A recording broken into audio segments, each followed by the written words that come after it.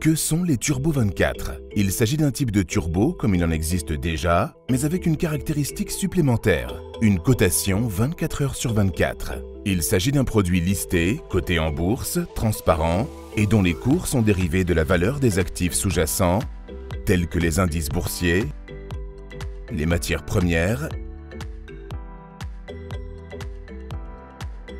Le cours d'un turbo suit le marché sous-jacent à hauteur d'un pour un. Vous pouvez donc l'utiliser pour vous positionner sur la hausse ou la baisse de cet actif sans avoir à l'acheter ou le vendre directement. Les turbos sont négociés sur une place de négociation et offrent un accès à la profondeur du marché, ce qui vous permet d'évaluer le sentiment du marché et de planifier votre stratégie.